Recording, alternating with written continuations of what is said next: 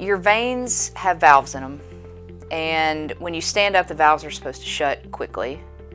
When you have reflux, the valves are a little bit slower to shut. So what happens is when you stand up, the pressure where your blood flow is normally going back to your heart, some of it will go backwards and pressurize these varicose veins.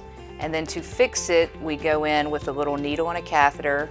We thread the catheter up and we burn the vein from the inside to essentially take it out of commission. So this procedure used to be done in surgical centers and in the operating room, but with this method we're able to do it in the office and takes 20, 25 minutes.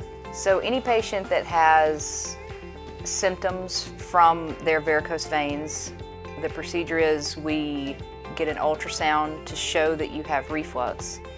If you have reflux in your veins, you usually qualify to have the procedure done. With this procedure, it has an excellent success rate. It is a short procedure, really no downtime, and I think it's one of the better ways to handle varicose veins.